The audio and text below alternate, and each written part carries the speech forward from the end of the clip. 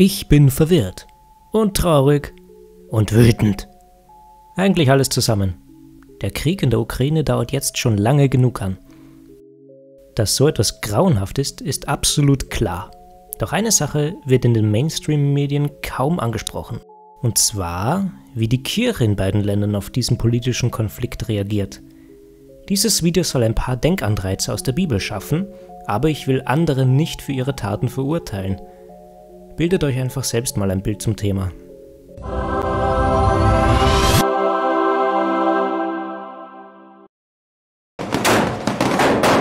Liebe Brüder und Schwestern, liebe Interessenten, wenn man sich den Krieg in der Ukraine ansieht, fragen sich viele, wieso Gott so etwas zulässt.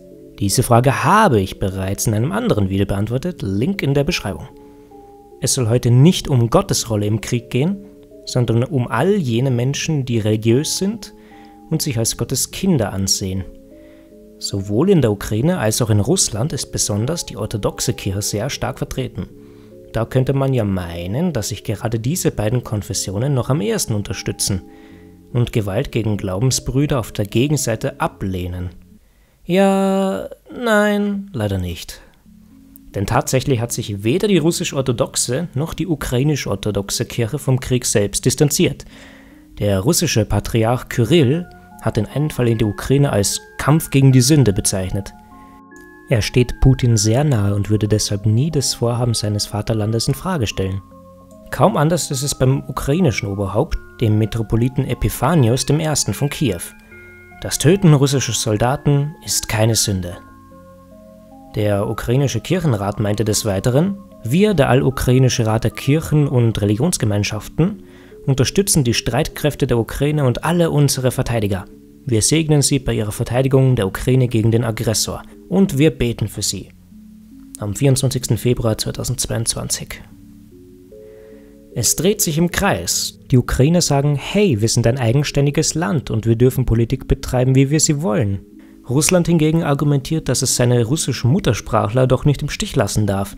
Immerhin hat die Ukraine 2019 Russisch als Amtssprache entfernt.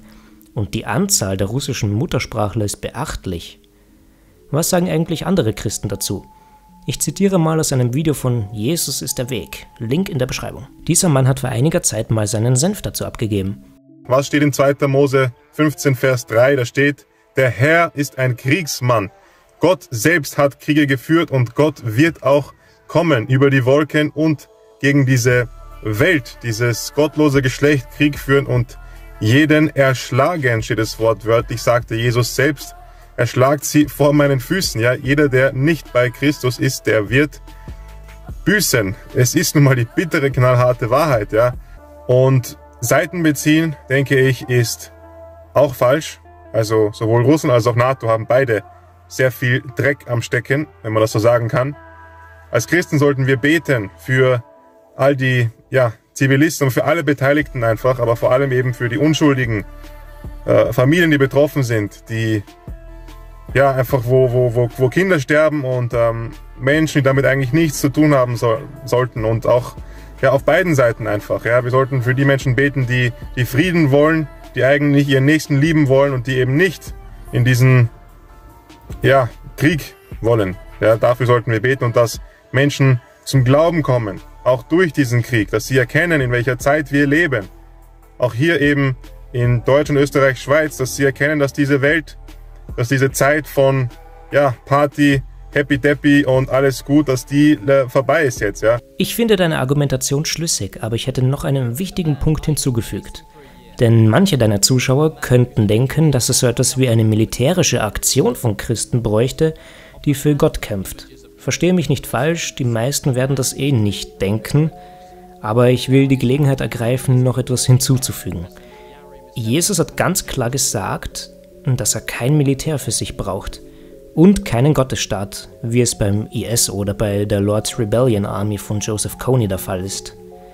Er meinte, dass man sich generell vom Politischen fernhalten soll und auch nicht zur Waffe greifen soll, wie in Matthäus 26 oder in Johannes 18. Also zusammenfassend finde ich es gut, dass du, Jesus ist der Weg, dich nicht von einer der beiden Seiten hast beeinflussen lassen. Krieg ist immer schlecht, dem füge ich nur hinzu, dass auch eine Kriegsführung für Gott nicht in seinem Sinne ist. Das wäre alles zu meiner Kritik, falls man das überhaupt so nennen kann. Ich hoffe, ich konnte das Wort des Herrn zu diesem Thema gut beleuchten. Diskutieren wir auch gerne mal in den Kommentaren darüber. Würde mich echt freuen. Bis dann, euer Kali. Ciao!